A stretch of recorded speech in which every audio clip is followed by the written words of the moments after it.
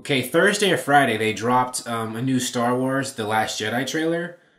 I think this one's called Awake. I saw some like articles about it and stuff, but I haven't had a chance to watch it yet. But I'm gonna watch it now and talk about it because I like Star Wars. You wouldn't know because most of my DC movies are about most of my videos are about DC stuff, but I have love a lot of love for Star Wars. So let's get into it.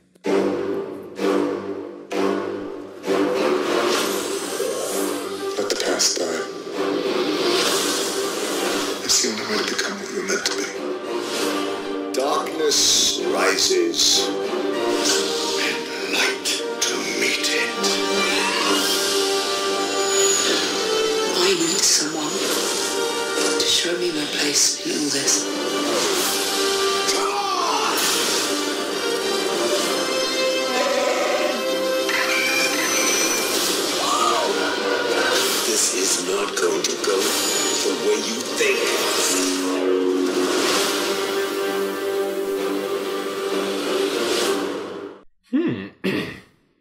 That looked. I like that. Um, some of the reports I read were true though. That this trailer reminded them the way it was cut. I guess a lot of the Empire Strikes Back, and you know it was the Empire Strikes Back was when Luke from the original Star Wars movies when Luke was I guess they made it seem like Luke was tempted to go over to the star, the dark side from the light side. Of course, we all know how that ultimately worked out. Luke became a good guy in the end. And in this trailer for The Last Jedi, it looks like Rey is going to be tempted to go to the dark side a little bit, maybe by Kylo or someone. But you know, I I have a hunch that if they are going that route, she's not going to go on the dark side or not stay there. She's going to become a good guy, like she again, like she was in the beginning. Because you know, Star Wars is a Disney property, and you know they have to make kids and families happy and sell those toys, and they can't have their main hero turn evil. It would definitely be a bold choice if they did that, but I don't think they ever will from a business standpoint because they got to keep their heroes heroes, and their main hero has to stay a hero. You know, we're not going to see Rey become a Sith, you know, and stay that way throughout the remainder of the Star Wars series. I just don't think so. That's my hunch. I could be wrong, but I don't think so. And there were other interesting things like Finn. It seems like he's having a confrontation with Captain Phasma.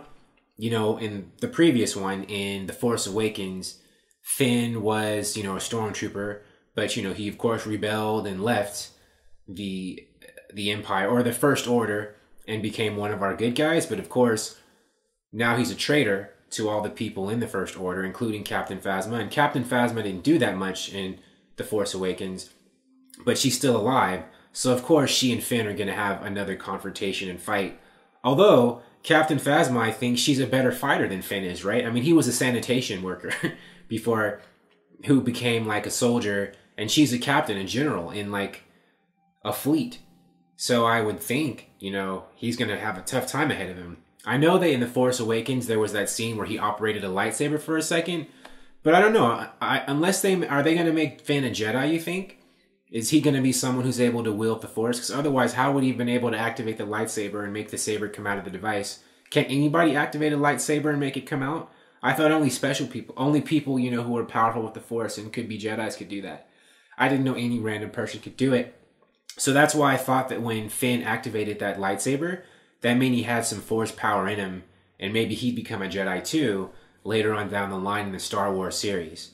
Am I wrong about that? I guess if anyone watching this is better on Star Wars lore than I am, I've seen all the Star Wars movies, but I'm not someone who's like read all the books and you know played all the games and you know the video games and the tabletop games.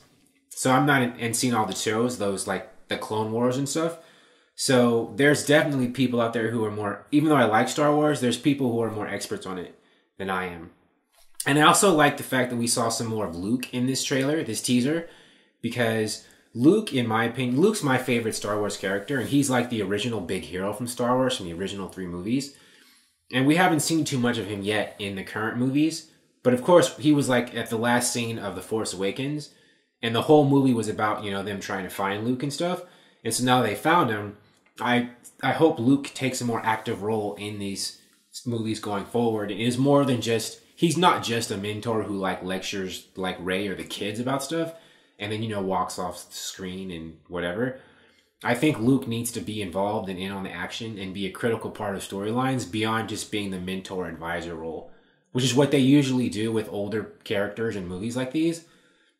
but I have faith. You know, I think they brought Mark Hamill. I think part of the reason that these new Star Wars movies have been so successful so far is a nostalgia factor. People like seeing, you know, Harrison Ford, Carrie Fisher, Mark Hamill, and they want to see them actually, you know, back in action again. You know, the big three back. That was actually one of the things I didn't like about The Force Awakens is that we never got any scenes of them back the three of them together again, you know, fighting the good fight, just like the old days. I think people would have got a kick out of that, seeing Han Solo, Luke Skywalker, and Princess Leia together again, fighting the good fight. That never happened. Luke Skywalker never even had a scene with Han Solo in The Force Awakens. They never shared the screen together, which was horrible. I don't know. I guess I don't know. Um, I didn't like that. I mean, I liked The Force Awakens, but I wish we'd gotten that. And you know, so I guess you know that since they killed off Han Solo, we're never gonna get that. but it would have been cool. And now Princess Leia, you know, Carrie Fisher is deceased. So hopefully they film some scenes with her and Luke together in this movie, and they'll actually be able to meet and reunite at least for a little bit before, you know, they can't do that anymore. We'll see. There was that quote, I don't know who that was, General Snoke or whatever. It was a voiceover. I think that was him saying darkness rises and the light rises to meet it or something like that. And so I think this video, this movie is going to play like more with the dark and light sides of the Force. And there's rumors that it's going to introduce, or I think that might have been confirmed, the Gray Jedi, Jedi that aren't you know light or dark. They're kind of in between. Uh, I think that's what the Last Jedi title actually means. That there's not going to be any more good, you know, Force users, and maybe no more bad Force users. It's just going to be people who more like are gray people who are able to use both good and light sides of the force and are able to blend the two instead of being on these extreme light and dark sides. We'll see. Um, but I think that's what they mean here.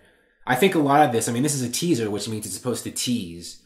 And part of teasing is sometimes it's enticing people by making you think that some extreme things are going to happen but aren't. Like, I don't think Rey's going to become an evil Sith you know, I don't think there's going to be no more good guy Force users in the entire Star Wars universe from this point on. As you know, the title "The Last Jedi" makes you believe.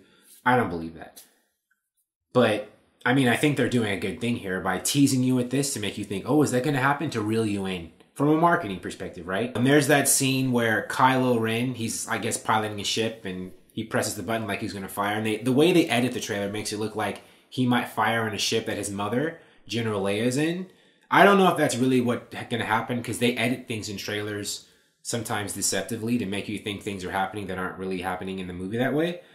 But it'll be interesting to see if you know Kylo is able to hurt or kill his mother just like he did his father in the previous one. Like he killed Han Solo, his father. Can he do the same thing to Leia? And you know, I'm sure Leia as a mother, well as any parent, you know, she has hope or faith in her son that he's going to come around and not be evil anymore. I'm sure it would crush her if her son would, you know, raise a hand to her like that or try to kill her. You know, I'm sure that would break any mother's heart. We'll see. I mean, this is just a teaser. Like I said, they're teasing you. I have no idea if that's what's actually going to happen in this movie, but that's going to be a very pivotal and emotional scene if they do it right. It's one of the things I'm, well, I actually forgot about it until I watched this teaser. I, it's not something I'm thinking about all the time when it comes to Star Wars. But now that it's been raised, I am intrigued. I'm going to see what their final confrontation or meeting looks like, especially since, you know, Carrie Fisher's deceased. And I don't think that the people who run Star Wars right now, they may not have had time. They may have planned to do more with them in another movie, but they can't do that because Carrie Fisher's not alive anymore. So we'll see what we get with what they were able to do with the time they have between, you know, Kylo and Leia. And because I, I think Kylo is a long term Star Wars character. I don't think he's going to be like a villain for this trilogy and then go off. I think they're going to try to make him like an anti hero or maybe like a, lo- a more long term villain. I don't know anything. That's just a theory I have. I think he's great as a villain. Um, I'm interested to see what caused him to turn.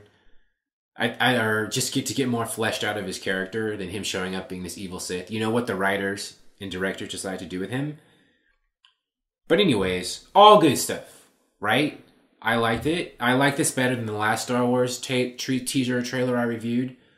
This movie comes out, what, December 15th or something like that? Like almost a month after Justice League. Justice League actually has a whole month in theaters without major competition before Star Wars comes out. That's great, actually. Because, you know, Star Wars is to, like, dominate everything when it's released. But anyways, this is a Star Wars video. But anyways, I liked it. Good stuff. Um, I will try to review more Star Wars stuff as it comes out as I have time for. I'm kind of preoccupied, I guess, with DC stuff because I'm a huge DC fan. But I do like Star Wars as well, and I'm sure I'll be doing more Star Wars stuff in the future. But thank you for watching. I appreciate your viewership. Please like and subscribe all the video, well, this video and stuff. Please subscribe to the channel, and I will talk to you soon. Bye.